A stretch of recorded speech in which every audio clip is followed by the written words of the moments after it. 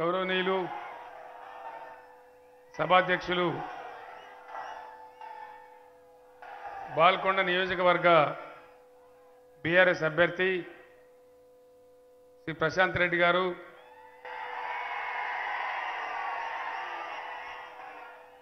గౌరవ పార్లమెంట్ సభ్యులు శ్రీ కేఆర్ సురేష్ రెడ్డి గారు గౌరవనీయులు శ్రీ దామోదరరావు గారు ఆర్మూర్ ఎమ్మెల్యే జీవన్ రెడ్డి గారు నిజామాబాద్ రూరల్ ఎమ్మెల్యే బాజిరెడ్డి గోవర్ధన్ గారు నిజామాబాద్ ఎమ్మెల్యే గౌరవనీయులు గణేష్ గుప్తా గారు షకీల్ అమీర్ గారు జడ్పీ చైర్మన్ విఠలరావు గారు రాజేశ్వరరావు గారు Christian finance corporation chairman doctor Madhusekhar గారు కార్పొరేషన్ అధ్యక్షులు మార గంగారెడ్డి గారు కార్పొరేషన్ అధ్యక్షులు LMB Rajeshwar garu PG Goud ex MLC garu S Mohan DCMS chairman garu Ramesh Reddy గారు డీసీఐసిబి వైస్ చైర్మన్ గారు కోటిపల్లి నరసింహనాయుడు రాష్ట్ర నాయకులు రాజారాం యాదవ్ గారు యువ నాయకులు గుణవీర్ రెడ్డి గారు మార్కెట్ కమిటీ చైర్మన్ గారు అరుణ మార్కెట్ కమిటీ చైర్పర్సన్ గారు కన్నా ప్రేమలత మున్సిపల్ చైర్మన్ గారు మోహన్ రెడ్డి గారు ఎక్స్పిఆర్టీయు నాయకులు మహారాష్ట్ర నుంచి ప్రత్యేకంగా విచ్చేసినటువంటి శ్రీ రఘునాథ్ దాదా పాటిల్ రైతు నాయకులు గారు వారి వెంట వచ్చిన మిత్రులు బాల్కొండ నియోజకవర్గం నలుమూలల నుంచి వెల్లువలాగా ఈ సభకు తరలి వచ్చినటువంటి సభ లోపల ఉన్నటువంటి సభ బయట ఉన్నటువంటి అన్నదమ్ములకు అక్క చెల్లెలకు అందరికీ నా నమస్కారం. బాల్కొండ నియోజకవర్గానికి ఎప్పుడు వచ్చినా కూడా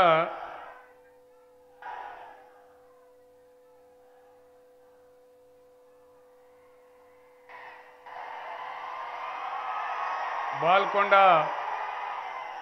నియోజకవర్గానికి ఎప్పుడు వచ్చినా మొట్టమొదటి జ్ఞాపకం వచ్చేది మోతె గ్రామం.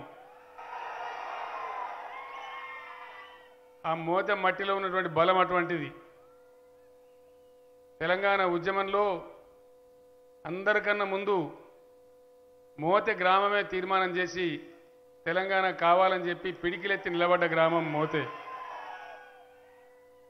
ఆ మోతె గ్రామం యొక్క మట్టిని నేను ముడుపు కట్టి హైదరాబాద్ తీసుకొని పోయినాను.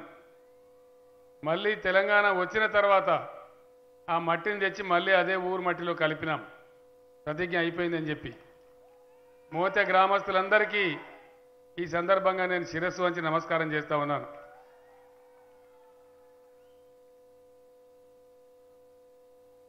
ప్రశాంత్ రెడ్డి గారు మొత్తం చెప్పినారు నేను చెప్పేది ఏం లేదు. నియోజకవర్గానికి ఏమేమి చేసినాం ఏం సంగతి అనేది ఆయన్నే మొత్తం చెప్పిండు. ఇంకా నేను చెప్పే అవసరం లేదు. హైదరాబాద్లో ఏమో నాకు ఆ పాయింట్లన్నీ రాసిచ్చింది నువ్వు చెప్పాలి నువ్వని. మళ్ళీ చెప్తే డబల్ డబల్ అవుతుంది మీకు కూడా బోర్ అవుతుంది. నేను ఒక్కటే మాట మీకు మనవి చేస్తా ఉన్నా.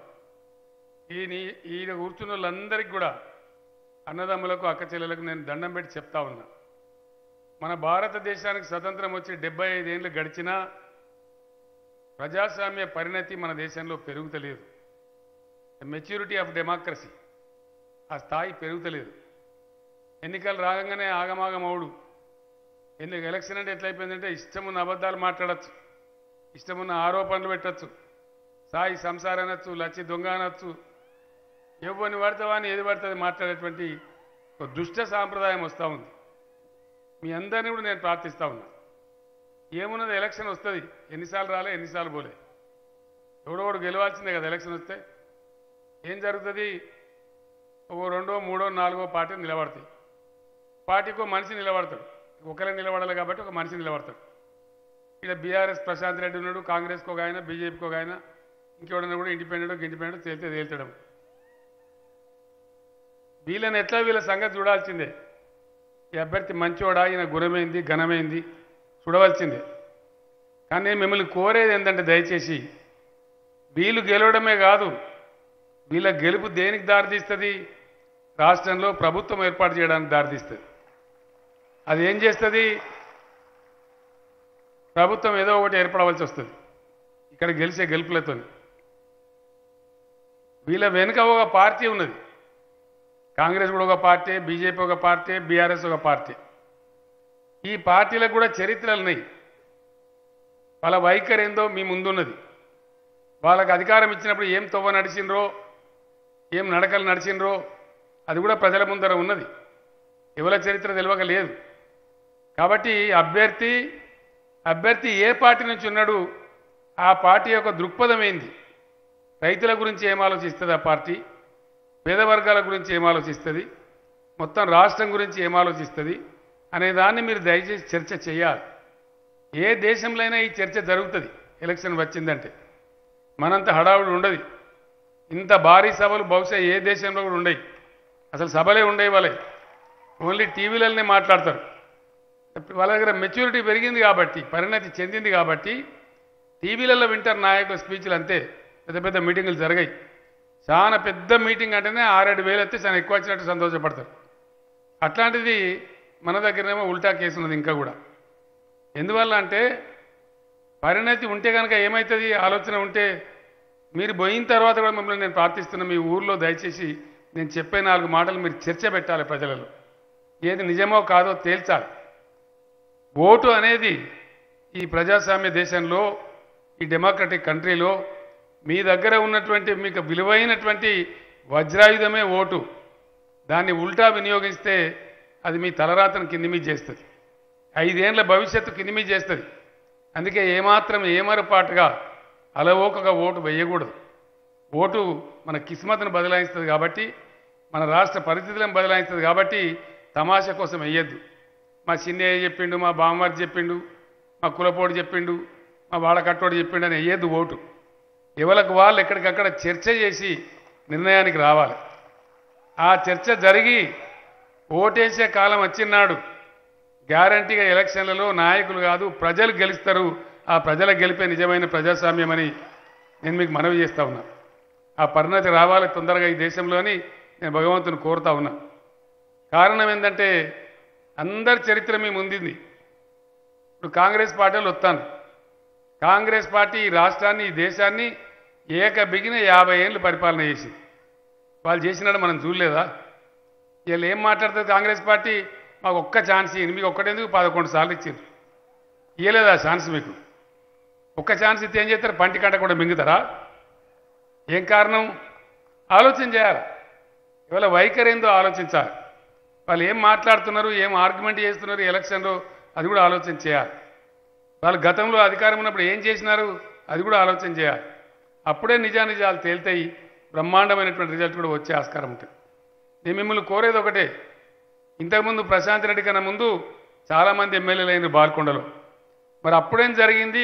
ఒక్క ప్రశాంత్ రెడ్డి కాలంలో ఏం జరిగిందో మీ కళ్ళ ముందే ఉందని నేను మనవి చేస్తా ఉన్నాను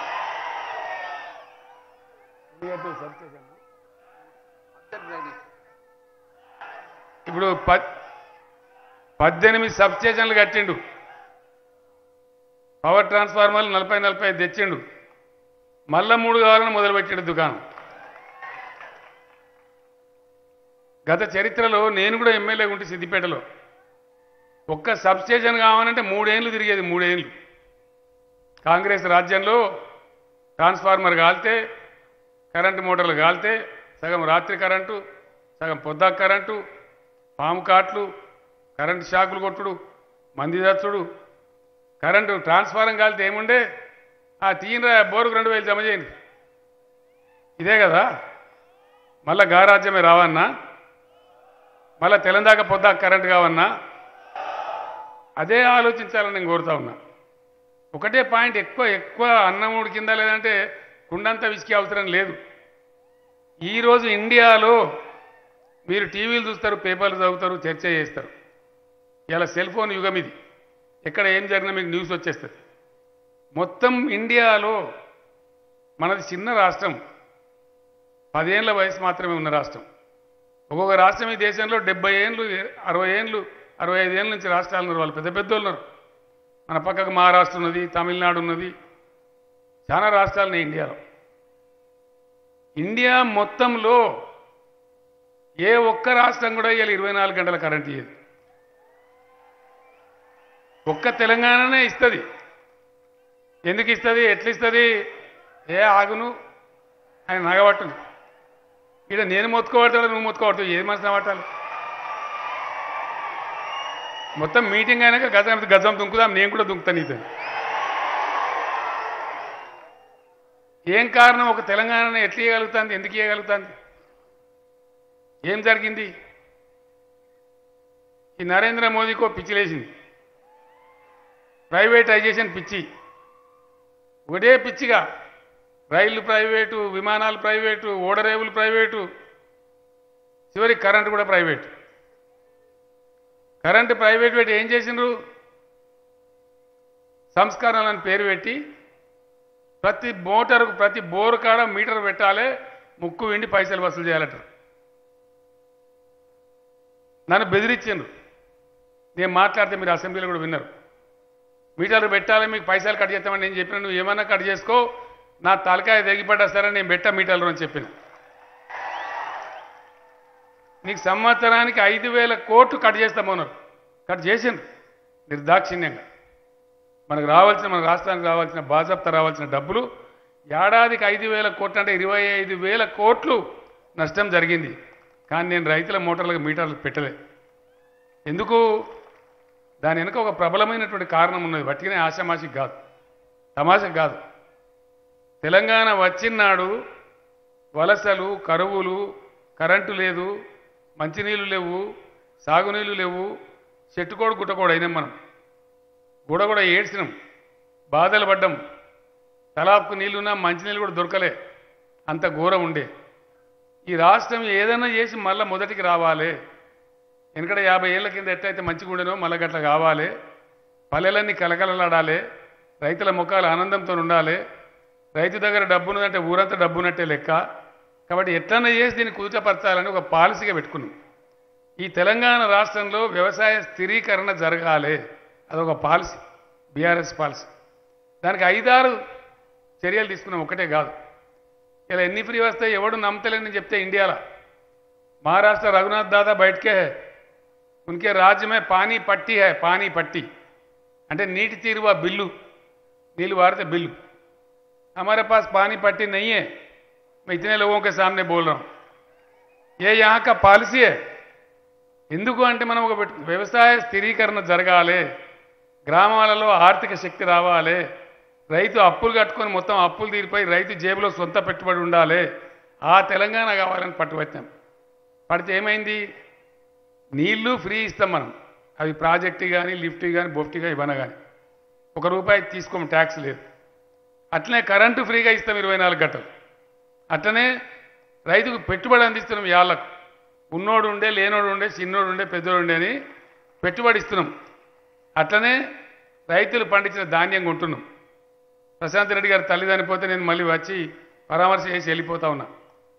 ఈ Armoor Jeevan Reddy Koratla Vidyasagararao MLA sir sir sir sir మక్కలు కొనాలి మక్కలు కొనాలని మొదలుపెట్టి.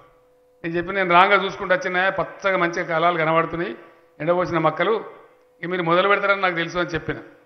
అంటే ధాన్యం మొత్తం కొంటా ఉన్నాం. మీ దగ్గర ఇంకా నడుతూ ఉంది. అక్కడ నారాయణకేల్లో అని పేరు ఆ జుక్కల్లో ఇద్దరు ఎమ్మెల్యే ఈయన దొరుకుని వస్తారు నా దగ్గరికి. ఆ మెదకేం మంచిగా పోయినా ఈయన నా ప్రాణానికి. బద్దాయ అంటే ఆ పచ్చజొన్నలు పండిస్తారు నేను చెప్పిన మీరు ఆర్మూర్ల బాల్కొండలో నేర్చుకొని ఎర్ర అక్కడికి అవి అమ్ముడనే పోతాయి కదా. పంజాబ్కో పంజాబ్కో ఇత్తనాలకు పోతాయి అంటే వినరు పచ్చ ఇస్తారు ఎవరు తింటాడు పచ్చ ఇప్పుడు తింటట్టున్నా వేస్తారు వస్తారు. అవి రెండు వేల కొనాలి వెయ్యికి ఎవడు కొనడం అమ్ముదామంటే? ఏం చేయాలి ఇక? అయినా సరే కొనమని చెప్పినాం. ధాన్యం కొని తద్వారా వచ్చేటువంటి నష్టాన్ని కూడా కొంత ప్రభుత్వం భరిస్తూ ఉంది. ధాన్యం ఎట్లా కొంటున్నారు? మునుపు పోతే బీటీ సేటు నెలకు రాపో సిట్టిస్తే నెలకు రాపో ముప్పై రోజులకు రాపో రెండు వారాలకు రాపో మూడు వారాలకు రాపో ఇట్లుండేది. ఇవాళ ధాన్యం కొట్టే పది రోజుల లోపల మీ డబ్బులు వచ్చి మీ ఖాతాలో పడిపోతున్నాయి. మధ్యలో దళారి లేడు బ్రోకర్ లేడు ఎవడు లేడు. రైతు బంద్ వస్తున్నది మీకు. ఎట్లా వస్తుంది? ఆడ మేము వెయ్యంగానే మీ సెల్ ఫోన్ టింగు టింగుమని మోగుతుంది. మీరు తీసి చూస్తే కనబడుతుంది ఇన్ని ఇన్ని డబ్బులు మీ అకౌంట్లో వచ్చి పడ్డాయని ఉంటుంది అట్లనే ఎవరన్నా రైతు అదృష్టం వంకర వయసు చనిపోతే ఆ కుటుంబం రోడ్డున పడద్దని చెప్పి ఒక ఐదు లక్షల రూపాయల బీమా పెట్టినాం. ఆ బీమా కూడా ఎట్లా వస్తుంది ఎవ్వరు పైరవి చేసే అవసరం లేదు. అదే కాంగ్రెస్ రాజ్యంలో ఆపద్ బంద్ ఉండే. యాభై వేలు ఇస్తామని చెప్పినారు. రెండు నెలలు మూడు నెలలు తిరిగితే చెప్పులు అరిగిపోతున్నా కానీ చివరికి పదివేలు ఇరవై వేల చేతులు పెట్టి మధ్యలో పైరవకాలు మింగిపోదురు. ఇలా ఒక రూపాయి లంచం ఇచ్చేది లేదు. కడుపులో సల్లగదిలేదు ఆ కుటుంబం దుఃఖంలో ఉంటుంది కాబట్టి ఏ పైరవి లేదు దరఖాస్తు లేదు రసీదు లేదు మసీదు లేదు చక్కగా ఐదు లక్షల రూపాయలు వాళ్ళ ఇంటికి పోతా ఉంది. వాళ్ళ ఖాతాలో పడతా ఉంది. ధరణి వచ్చినా మీకు రైతు బంధువు వచ్చినా అట్లే వస్తుంది. రైతు బీమా వచ్చినా అట్లే వస్తుంది. మీరు వడ్ల మీద మక్కల మీద డబ్బులు కూడా అట్లే మీ ఖాతాలో పడతాయి. ఎందువల్ల? రైతుల యొక్క రికార్డులన్నీ మునుపు హేరాపేరు చేసేటువంటి విఆర్ఓలు ఉండ్రి. గిరిదావాళ్ళు ఉండ్రి. ఎంఆర్ఓలు ఉండి మీ మీద బాసులు. మీ భూముల మీద పెత్తనం. దాని మీద ఆర్డీఓ కలెక్టర్ జాయింట్ కలెక్టర్ ఎవడో రెవెన్యూ మినిస్టర్ దాకా. ఎవడొక్కడికి కింది చేసినా కైలాసం ఆటల పెద్ద పంపింగినట్టే అంత ఘోరం ఉండే. నీ భూమి తీసి నాకు రాసుడు నాకు తీసి ప్రశాంత్ రెడ్డికి రాసుడు ప్రశాంత్ రెడ్డి తీసి ఇంకో ఆయనకి రాసుడు. గోల్ మాల్ గోవిందం ఉండే. కోర్టుల చుట్టూ వకీళ్ళ చుట్టూ తిరిగి తిరిగి చచ్చిపోదురు రైతులు. ఇలా ధరణి పోటలు వచ్చిన తర్వాత రిజిస్ట్రేషన్ పద్ధతి మారిన తర్వాత రిజిస్ట్రేషన్ అవుతుంది. మునుపు రిజిస్ట్రేషన్ అయితే పట్టా కావాలంటే ఆరు నెలలు ఏడాదో వన్ దయ ముఠ చెప్పేది ముఠ చెప్పినాక కూడా ఆరు నెలలు. తిరిగి తిరిగి చెప్పులు అరుగుతుండే. ఈరోజు మీ మండల కేంద్రానికి మీరు పోతే పొద్దున పోతే మంచిగా మధ్యాహ్నం వరకు రిజిస్ట్రేషన్ రిజిస్ట్రేషన్ అయిపోయి మళ్ళీ ఇంటికి వచ్చి అన్నం తినచ్చు. పదిహేను నిమిషాలలో రిజిస్ట్రేషన్ అయిపోతుంది. ఇంకో పదిహేను నిమిషాల పట్టా అయిపోతుంది మ్యూటేషన్ అయిపోతుంది. ఆన్లైన్లో కనబడుతూనే ఉంటుంది లైన్ మీద. మీ పిల్లలు అమెరికాలను చూడొచ్చు. ఆ ధరని పెట్టాం కాబట్టే మీ ఖాతాలన్నీ ప్రభుత్వం దగ్గర ఉన్నాయి కాబట్టే ఈ సవలత్ అంతా వస్తూ ఉంది. ఎందుకంటే నేను కూడా కాపోనే. ఇప్పుడు కూడా నాకు వ్యవసాయం ఉన్నది. ఇప్పుడు ఇవాళ మధ్యప్రదేశ్లో ఈవెన్ గుజరాత్లో ప్రధానమంత్రి రాష్ట్రంలో కూడా ఎరువు బస్తాల కోసం మళ్ళీ చెప్పుల లైన్లు ఉంటున్నాయి. మన దగ్గర లేకుండానా? పోలీస్ స్టేషన్లో పెట్టాం మళ్ళీ బస్తాలు మనం వ్యాధి మర్చిపోయినామా? ఎర్రజొన్నల రైతులు పైసలు అంటే కాల్చి కాల్చేయలే. ఆరుమూరుల. ఫైరింగ్లు చేసింది గడబడి చేసింది వాటి పది పన్నెండు కోట్ల రూపాయలు నేను ముఖ్యమంత్రి అయినా కానీ మళ్ళీ మనమే ఇచ్చుకున్నాం తప్ప ఎవడే కానీ ఇయ్యలే. అగో ఆ ప్రభుత్వాన్ని చూసిండ్రు మీరు. నేను అందుకే మిమ్మల్ని కోరేది పార్టీల నడబడి కూడా చూడాలి. వాళ్ళ చేతిలో గవర్నమెంట్ ఉంటే ఎట్లా వ్యవహారం చేసింది ఎరువు బస్తాలు దొరకలే కరెంటు దొరకలే ధాన్యం కొనలే పట్టించుకోలే ఇవన్నీ కూడా ఉండే. ఏ ఏ తప్పులుండి ఏ ఏ బాధల వల్ల రైతులు బలహీనపడ్డరో తెలంగాణ రైతాంగం ఆగమైందో ఆ బాధలు నివారణ చేయాలని చెప్పి అరవ కష్టపడి ఈ వసతులన్నీ ఏర్పాటు చేసినాం. అదొక పాలసీ అది. ఆషామాషి ఎలక్షన్ల కోసం నాకు ఎవరి దరఖాస్తు ఇచ్చిందండి రైతు బంధు పెట్టమని? ఎవడన్నా ఉద్యమం చేసిండా? ఎవడన్నా కోరిండా? ఎవడన్నా అడిగిండా? ఎవడు అడగలే. నా అంతట నేను మేధావులతోని పెద్దలతోని మాట్లాడి రైతు నాయకులతో మాట్లాడి ఈ నిర్ణయం తీసుకొని చేసినాం. దాని ఫలితం నేను గర్వంగా చెప్తా ఉన్నా తెలంగాణ ఇలా మూడు కోట్ల టన్నుల వడ్లు పండిస్తూ ఉంది. మూడు కోట్ల టన్నులు. మిగిలిన ప్రాజెక్టు కొన్ని కొన్ని ఉన్నాయి కదా సీతారామ గీతారామ పాలమూర అయిపోతే నాలుగు కోట్ల ధాన్యం పండించి తెలంగాణ ఇండియాలోనే నంబర్ వన్ స్టేట్ కాబోతా ఉంది. దాని ఫలితం కూడా వచ్చింది అలా కళ్ళ ముందు కనపడతా ఉంది. అందుకే నేను మీతో కోరే దయచేసి నిలబడ్డ వ్యక్తే కాదు వ్యక్తి అనుకున్న పార్టీ ఆ పార్టీ కథ ఆ పార్టీ చరిత్ర కూడా మీరు చూడాలని చెప్పి నేను మిమ్మల్ని కోరేది అందుకే. అలా ఒకగా ఆచామాచిగా ఓటేస్తే మళ్ళీ కినిమి అవుతుంది. మంది మాటలు పట్టుకొని మారమానం పోతే మళ్ళీ చివరికి ఇల్లు కాలిపోయిందని ఆగమాగం అయిపోతుంది. కినిమి అవుతుంది. కాబట్టి ఓటు చాలా విలువైంది కాబట్టి దాని ప్రభావం మీకు ఐదేళ్ళ భవిష్యత్తు మీద ఉంటుంది కాబట్టి చాలా జాగ్రత్తగా దాన్ని వాడాలని చెప్పి నేను కోరుతా ఉన్నా. ఒక్క రైతులకే కాదు అన్ని వర్గాలను ఆదుకునే ప్రయత్నం చేసినాం. ప్రతి వాళ్ళకు కూడా ఆదుకునే సమస్య ఒకటి ఒకటి ఒకటి పరిష్కారం చేసుకుని పోయినాం. మంచినీళ్ళ సమస్య. ఇవాళ సమస్యనే లేదు. ఏ మారుమూల పల్లె అయినా లంబాడి తండాలైనా ఆదిలాబాద్ అడవిలో ఉండే గోండు బిడ్డలకైనా వాళ్ళ మారుమూల పల్లెలకు కూడా వాళ్ళ ఇంట్లో నల్లబెట్టి నీళ్ళు పోతా ఉన్నాయి.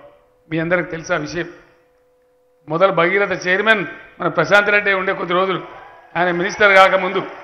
ఆ తర్వాత మంత్రి అంటే అది వేరే విషయం. ఆ రకంగా భగీరథ బ్రహ్మాండంగా విజయవంతం చేసుకున్నాం. కరెంటు సమస్య కంప్లీట్ చేసుకున్నాం.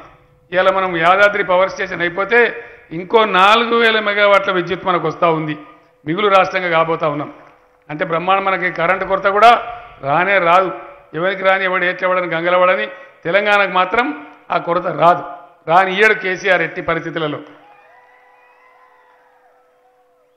అదేవిధంగా భూముల పంచాయతీలు చాలా తగ్గినాయి. ధరం లేదన్నా కొనుక్కో ఇద్దరికో పనులుంటే చేసి పెడదాం పెద్ద సమస్య కాదు. నూటి నూటికి తొంభై ఎనిమిది తొంభై తొమ్మిది శాతం మంచిగా ఉన్నది ఎవరికన్నా నూటికో ఇద్దరికో ముగ్గురికో ఇష్యూ ఉంటే ఎక్కడికక్కడ ఎమ్మెల్యేలకు చెప్పండి మాట్లాడదాం సాల్వ్ చేస్తాం అది పెద్ద సమస్య కాదు. ఇలా కాంగ్రెస్ మాట్లాడుతున్నది. దయచేసి మీరు ఆలోచన చేయండి. నేను కేంద్ర మంత్రిగా లేబర్ శాఖ మంత్రిగా ఉంటే ఈ దేశంలో పదిహేడు రాష్ట్రాలలో బీడీ కార్మికులు ఉంటారు. పదిహేడు రాష్ట్రాలలో ఉంటారు. ఏ ఒక్క రాష్ట్రం కూడా బీడీ కార్మికులకు పెన్షన్ ఇయ్యేది. బీడీ కార్మికులకు పెన్షన్ ఇచ్చే ఒకే ఒక రాష్ట్రం తెలంగాణ రాష్ట్రం. ఇది బీడీ చేసే బిడ్డలు ఆలోచించాలి. పెన్షన్ పెన్షన్ కూడా ఆలోచించాలి. నేను అందుకే మిమ్మల్ని కోరింది ప్రభుత్వ వైఖరి పార్టీ వైఖరి ఆ పార్టీకి మెదడు ఎట్లా పనిచేస్తుంది ఏం ఆలోచిస్తుందని కూడా మీరు విచారించాలి. పెన్షన్లు రెండు వేల పద్నాలుగులో ఎలక్షన్కి పోతా ఉన్నాం. ఎలక్షన్ మేనిఫెస్టో చెప్పాలి కదా ఏం చేస్తామో ఏం చేయము. అది రాస్తున్నారు కూర్చొని పెద్దలంతా. అందులో ఒక ముగ్గురు నలుగురు రిటైర్డ్ ఐఏఎస్ ఆఫీసర్లు ఉన్నది వాళ్ళు రెండు వందలు ఉండే పెన్షన్. అంతకుముందు డెబ్బై రూపాయలు ఉండే నలభై రూపాయలు ఉండే రెండు వందలకు వచ్చి నేను అడిగిన ఒకటే మాట ఎందుకు ఇస్తామయ్యా పెన్షన్? అని అడిగినాను అసలు పెన్షన్ ఎందుకు ఇవ్వాలి అసలు? దానికి ఏమైనా పరమార్థం ఉందా? వాటికి తమాషకి ఇస్తున్నావా? ఎవరు చెప్తలేరు. మీ ఉద్దేశం ఏం ఇస్తారని అడిగింది. నేను ఏం చెప్పినా అంటే కొంతమంది విధి వంచితులు ఉంటారు. మనలాగానే మనుషులే మన సాటి మనుషులే. అనుకోకుండా కొన్ని ఆపదలకు గురవుతారు ఒక ఆమెకు భర్త చనిపోవచ్చు పాపం ఆలన పాలన లేకపోవచ్చు. ఒక ఇద్దరు వృద్ధ తల్లిదండ్రులు ఉంటే వాళ్ళకి బిడ్డలు ఉండి కూడా చక్కగా చూడకపోవచ్చు లేదా బిడ్డలు లేకుండానే ఉండొచ్చు. మంచిగానే ఉంటాం మనిషి భగవంతుందా ఏం చెప్పత్తది? ఇవాళ కర్మం ఎట్లనో ఇవాళ మంచిగానే ఉన్నాం. అనుకోకుండా ఒక యాక్సిడెంట్ అయితే ఒక కాలు చేయి పోవచ్చు అంగవైకల్యం రావచ్చు. ఇట్లాంటి విధివంచితులను ఆదుకునే బాధ్యత కాపాడే బాధ్యత సమాజం అంటే గవర్నమెంట్ మీద ఉంటుంది కాబట్టి ఇచ్చేదానికి ఒక అర్థం ఉండాలి అని చెప్పాను. ఊకి ఎందుకు సతాయిస్తావు సార్? ఏం కోరుతున్నావు నువ్వు ఓనర్? వాళ్ళు ఇవ్వనికి మోతాదు లేకుండా రెండు పూటలు వాళ్ళు బిర్యానీ తినే అవసరం లేదు పప్పు పప్పో పులుసో తిని వాళ్ళ ఇంట్లో వాళ్ళు ఉంటేటుంటే సరిపోయినాయి అని చెప్పి. ఇక లెక్కలు తీసినారు. చింతపండుకి ఇంత పప్పుకి ఇంత ఉప్పుకి ఇంత అని లెక్కలు తీసి ఆరు వందలు ఇస్తే సరిపోతుంది సార్ అన్న. నేను చెప్పిన ఈ గరీబుల కాలనే కొసరన్నావా? ఒక వెయ్యి రూపాయలు పెట్టిన చెప్పండి. వెయ్యి రూపాయలతో స్టార్ట్ అయినా. అది ఎలక్షన్ల కోసం చెప్పలే. మొదలు పెట్టాం వెయ్యి రూపాయలు. తర్వాత మన ఆర్థిక పరిస్థితి పెరిగింది. రెండు వేలు చేసుకున్నాం. మొన్న నేను ప్రకటించిన ఐదు వేలకు తీసుకుపోతాం పెన్షన్ ఈ మార్చి తర్వాత. ఈ మార్చి తర్వాత మూడు వేల రూపాయలు వస్తుంది. సంవత్సరానికి ఐదు వందల చొప్పున పెరుక్కుంటూ ఐదు వేల రూపాయలకు పోతుంది. ఉద్యోగస్తులకు ఇతరులకు పెరిగినట్టే వాళ్ళకు కూడా పెరుగుతుందని చెప్పినాం. పేద సాద బతకాలి. బీడీ కార్మికులకు ఏ రాష్ట్రం కూడా పెన్షన్ ఇయ్యదు. నేను ఒక్కటే మాట కోరుతా ఉన్నా ఈ బాల్కొండ ఆర్మూరు ఈ ప్రాంతాలలో ఉండే బీడీ కార్మిక బిడ్డలు ఆలోచన చేయాలి. రేపు మీకు ఐదు వేల పెన్షన్ రాబోతా ఉంది. మీ ఒక్క ఓటు కూడా ఇంకో పార్టీకి పడద్దని చెప్పి నేను కోరుతా ఉన్నా. మన కార్యకర్తలు కూడా దయచేసి మీరు ఆ విధంగా వాళ్ళకి చెప్పి సంజాయించాలి ప్రచారం కూడా చేయాలని చెప్పి నేను కోరుతా ఉన్నా. ఈ రకంగా ఎవరు నిడిచిపెట్టినా మనం ఎవరు నిడిచిపెట్టలే రైతు బంధు అనే పదం పుట్టించిందే మనం. దళిత బంధు అనే పదం పుట్టించిందే మనం. దళితులు కూడా బాగుపడాలి. నేను దళిత సమాజానికి అప్పీల్ చేస్తా ఉన్నా. దళిత సమాజం గురించి ఎవరు కూడా ఆలోచన చేయలే. ఏదో చేసిండ్రు. మిమ్మల్ని ఓటు బ్యాంక్గా వాడుకున్నారు తప్ప మీ నిజమైన అభివృద్ధిని కాంక్షించలే. గ్రాస్ రూట్ నుంచి మిమ్మల్ని పైకి తెచ్చే ఆలోచన చేయలే. స్వతంత్రం వచ్చే నాటికే దళిత జాతి వివక్షకు గురైంది. తరతరాల అణిచివేతకు గురైంది. అంటరానికి తనానికి గురై వెలివాడలలో బతికిన పాపం వాళ్ళు. మీరు ఊర బయట బతుకునే వాళ్ళు ఊరు బయట పెట్టింది ఇది మంచిది కాదు మానవ జాతికి మంచిది కాదు. మనకి ఎవరికి కూడా గౌరవం కాదు. కాబట్టి దళితులు కూడా పైకి రావాలి. ఇలా కాంగ్రెస్ నరక్తరు ఇష్టం వచ్చినట్టు. బాగా మాట్లాడతారు. జవహర్లాల్ నెహ్రూ మొదలు ప్రైమ్ మినిస్టర్ అయినప్పుడే దళితుల గురించి మంచిగా ఆలోచన చేసి ఉంటే ఇలా దళితులు ఇట్లా ఉందరు మన దేశంలో? దయచేసి మీరు ఆలోచన చేయాలి. ముఖ్యంగా దళిత యూత్ దళిత మేధావి వర్గం ఆలోచన చేయాలి. నాకు ఎవడు అప్లికేషన్ పెట్టలే నన్ను ఎవరు అడగలే. దళిత బంధు అనే పథకాన్ని పుట్టించిందే ఈ దేశంలో కేసీఆర్ అని చెప్పి నేను మనవి చేస్తా ఉన్నా. ఎవరు కూడా ఆలోచించలే. ఒకరోజే అందరికి ఇయ్యలేకపోవచ్చు. దఫాల వారిగానే కావచ్చు. డెఫినెట్గా దళిత బంధు అన్ని దళిత కుటుంబాలకు అందే బాధ్యత నాది. అది నా బ్రెయిన్ చైల్డ్ అది నా మానస పుత్రిక. దాన్ని అమలు చేసి చూపెడతా అని చెప్పి కూడా నేను మీకు హామీ ఇస్తా ఉన్నా. ఈ రకంగా అన్ని వర్గాల ప్రజలను తీసుకొని పోయినాం. మనకు కులం లేదు మతం లేదు ఏమి లేదు మనకు. అన్ని వర్గాలు ముస్లింలు హిందువులు అంతా బాయి బాయి అని చెప్పి అందరినీ గౌరవించి ముందుకు పోయినాం. చేనేత కార్మికులను ఆదుకున్నాం. అందరిని కాపాడుతూ ఉన్నాం. ఈ రకంగా పోతా ఉన్నాం. కొత్తగా కూడా కొన్ని సౌకర్యాలు పెట్టుకున్నాం. రాష్ట్రం రైతులకు ఇస్తా ఉన్నారు మాకీమని చేనేత కార్మికులు అడిగింది గీత కార్మికులు అడుగుతున్నారు భవన నిర్మాణ కార్మికులు అడుగుతున్నారు ఇక ఈ తంటా ఎందుకని చెప్పి తొంభై మూడు లక్షల రేషన్ కార్డు ఉన్న ప్రజలందరికీ కూడా రైతు బీమా లాగానే బీమా సదుపాయం కూడా పెట్టినాం. రేపు మార్చి తర్వాత అందరు కూడా సౌకర్యం వస్తుందని చెప్పి నేను మనవి చేస్తూ ఉన్నా. ఆరోగ్యశ్రీ స్కీమును కూడా పదిహేను లక్షల దాకా దాన్ని పెంచినాం. ఆ సదుపాయం కూడా ప్రజలందరికీ అందుబాటులోకి వస్తుందని మనవి చేస్తా ఉన్నా. ఇట్లా తెలంగాణ మీకు ఇంకొక మాట చెప్తా ఉన్నా నేను ఉపన్యాసం ముగించే ముందు. ఏ దేశమైనా ఏ రాష్ట్రమైనా బాగుపడ్డదా లేదా అని ఆలోచించడానికి ఒక రెండు మూడు గీటరాళ్ళు ఉంటాయి క్రైటీరియాస్ ఉంటాయి. అందులో నంబర్ వన్ ప్రపంచంలో ఏ దేశం గురించి ఆలోచించినా మన ఇండియాలో ఏ రాష్ట్రం గురించి ఆలోచించినా మొట్టమొదటి ఎవడైనా ఏం చూస్తారంటే పర్ క్యాపిటా అంటే తలసరి ఆదాయం ఎంత ఈ రాష్ట్రంకి? ఒకనాడు పదిహేను పదహారు ప్లేస్లో ఉంటాం మనం.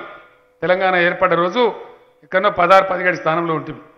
నేను గర్వంగా చెప్తా ఉన్నా మీ అందరికీ. ఈరోజు మనం పండించే పంటలకు మనం సంపాదిస్తున్నటువంటి పరిశ్రమలకు సంపాదిస్తున్నటువంటి పెట్టుబడులకు పెరుగుతున్న ఐటీ రంగానికి అన్నిటి కలిపి ఇలా తెలంగాణ గౌరవం ఏంటంటే పర్ క్యాపిటల్ ఇన్కంలో తలసరి ఆదాయంలో ఈ దేశంలోనే తెలంగాణ నంబర్ గర్వంగా మీకు తెలియజేస్తా ఉన్నా.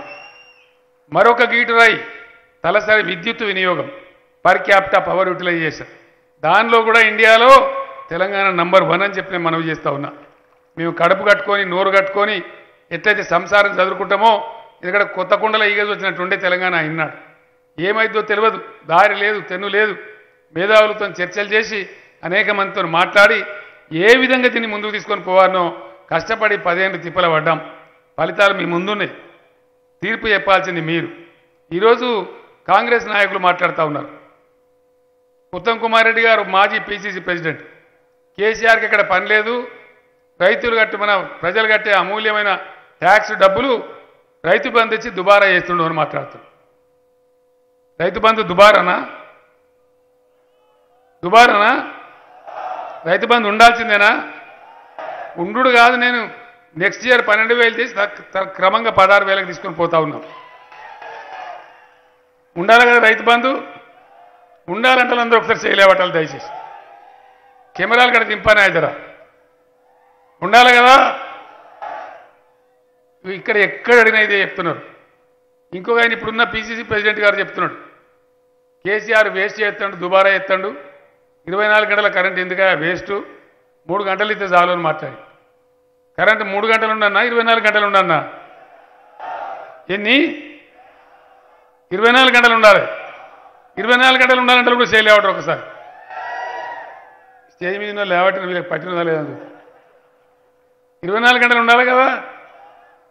మరి దబ్బన కాంగ్రెస్ వస్తే ఉంటుందా? ఇక్కడ గమ్మత్ ఏంటంటే మనుషులు మాట్లాడితే కొద్దిగా ఇజ్జత్ కూడా ఉండాలి.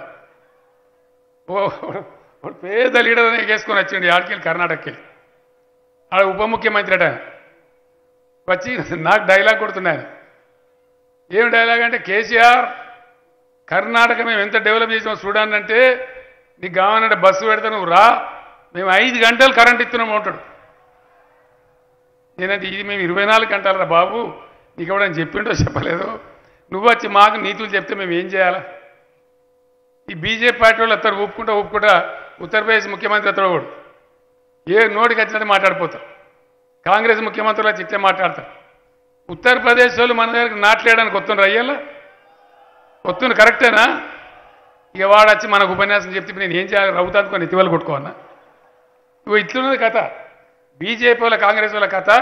మీ చక్కదనం లేదు. మీ ప్రజలు బతకలేక మా దగ్గర బతుకుతారు వచ్చి అనేక రాష్ట్రాల నుంచి పద్నాలుగు రాష్ట్రాల నుంచి. మీరు మాకు వచ్చిన నీతులు చెప్తే ఎట్లుంటుంది? దయచేసి ఆలోచించమని చెప్పి నేను కోరుతా ఉన్నా. వీలు కనుక వస్తే డెఫినెట్గా చెప్తున్నా నేను. రైతు బంధుకు రామ్ రామ్ కరెంటు కాటగలుస్తుంది దళిత బంధుకు జై భీమ్ ఇక పోయిగా ఈ కథ తయారవుతుంది అప్పుడు నేను కూడా ఏం చేయలేదు నేను మస్తు కొట్లాడినా మనందరి కోసం. ఇది ఇరవై నాలుగో సంవత్సరం. తెలంగాణ వచ్చేదాకా కొట్లాడినాం. మళ్ళీ ఇప్పుడు పదేళ్ళు కొట్లాడినాం. ఇప్పుడు మీరు కొట్లాడాలని చెప్పి నేను మనవి చేస్తా ఉన్నా దయచేసి. మీరు నిర్ణయం చేయాలి. మీరు తెగారం చేసి మీరు కొట్టాడాలి. నేను ఇలా యాగం మధ్యలోకి వచ్చినా వచ్చిన రేపైతే పౌర్ణావతి అవుతా ఉంది. మళ్ళీ పోయి ఇప్పుడు పూజలు పాల్గొనాలి. ఇంకా చాలాసేపు మాట్లాడాలని ఉంది. మీరు మంచిగా శ్రద్ధగా వింటున్నారు. నాకు కూడా సంతోషంగా ఉంది. కానీ మళ్ళీ పోయి నేను పూజ కూడా అందుకోవాలి. మీరు ఇన్ని మాటలు విన్నారు మంచిగా సంతోషంగా. ప్రశాంత్ రెడ్డి గురించి నేను చెప్పాల్సిన పని లేదు. నా కొడుకులాగా నా సొంత ఇంట్లో ఉంటాడు. క్యాబినెట్లో కూడా చాలా మంచి బాధ్యత గల పదవిలో ఉన్నాడు. రేపు కూడా అట్లే పెద్ద మనిషిగానే ఉంటాడని మీకు హామీ ఇస్తా ఉన్నాను నేను. ప్రశాంత్ రెడ్డి పెద్ద మనిషి ఉన్న తర్వాత బాల్కొండ ఆటోమేటిక్గానే పెద్దగా అవుతుంది. మీకు తెలుసు ఆ విషయం. నేను చెప్పే అవసరం లేదు. ఇవాళ ఈ సభ ఆ హెలిప్యాడ్ కాడ ఉన్న మందిని చూస్తే నాకు అర్థమైపోయింది. బ్రహ్మాండమైన మెజార్టీతో ప్రశాంత్ రెడ్డి గెలిచిపోతా ఉన్నాడు. దాంట్లో డౌటే లేదు. ఏమాత్రం అనుమానం లేదు. కాబట్టి మళ్ళీ ఒకసారి ప్రశాంత్ని దీవించండి. మన రాష్ట్రాన్ని బాల్కొండను అనుకున్న విధంగా అభివృద్ధి చేసుకుందాం. ఆయన అడిగినటువంటి లక్ష్మీ నరసింహస్వామి టెంపుల్ కానీ మిగతా విషయాలు కానీ అది పెద్ద సమస్యగా చేసే బాధ్యత నాది. తప్పకుండా ఏపిస్తాను మనవి చేస్తూ నేను మీ దగ్గర సెలవు తీసుకుంటా ఉన్నా. జై తెలంగాణ! కారు గుర్తుకే కారు గుర్తుకే. జై తెలంగాణ! ధన్యవాదాలు.